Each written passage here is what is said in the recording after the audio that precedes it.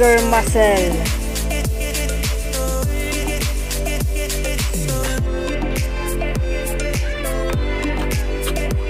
Stronger bone.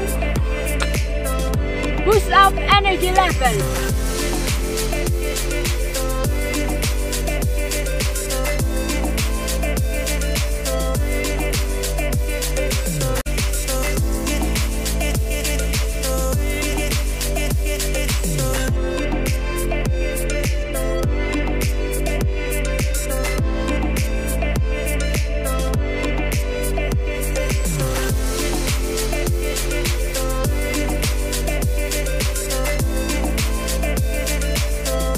Exercises, be it of any kind, lift up mood and keep stress, depression, and anxiety away.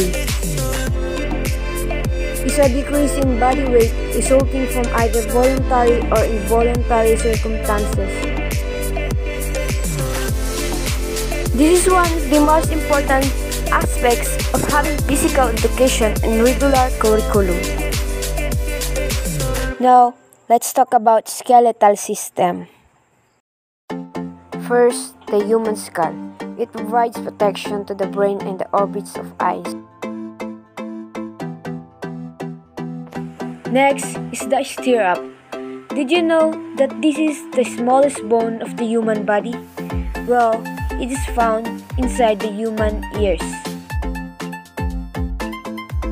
Clavicle acts to transmit forces from the upper limbs to the axial skeleton. Sternum protects the heart, lungs, and blood vessels from physical damage. Next is the rib cage. It protects the organs in thoracic cavity and assists respiration. The next is the spine. It gives your body structure and support. Let's move on to the arms. First is the humerus. Serve as an attachment to 13 muscles which contribute the movement of hands and elbows. Radius and ulna. Radius articulate with the ulna and humerus at the elbow to provide supination and pronation, while the ulna acts as the establishing bone, with the radius pivoting to produce movements.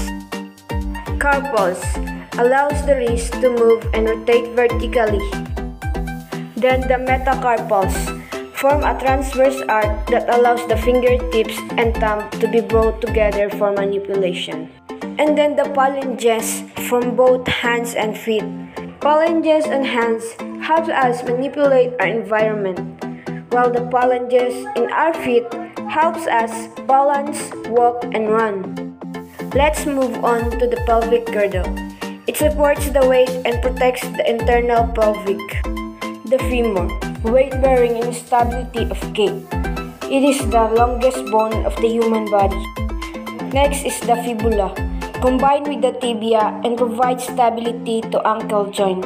And tibia, bear weight with the medial aspects of the tibia, bearing the majority of weight load. Next is the tarsals, to transmit forces from tibia to heel bone. And metatarsals, support the weight of the human body. We just discussed the different parts of the skeletal system. Now, let's move on to the musculoskeletal system. The musculoskeletal system is an organ system that gives human, including animals, the ability to move using muscular and skeletal system. It provides form, support, stability, and movement to the body. Muscular system composed of a specialized contractile tissue called muscle tissue. There are three types of muscle tissue. The smooth muscle, cardiac muscle, and skeletal muscle. The smooth muscles comprises the walls of blood vessel and hollow organs. Next is the cardiac muscle, which is forms the muscle layer of the heart. And lastly, the skeletal muscle, attaches to the bones and provides voluntary movements. The function of musculoskeletal system protects internal organs, produces blood cells, stores and releases fats, facilitates movement, stores and releases minerals, and supports the body. And that's for the musculoskeletal system. I hope you learned a lot on my video. Thank you for watching.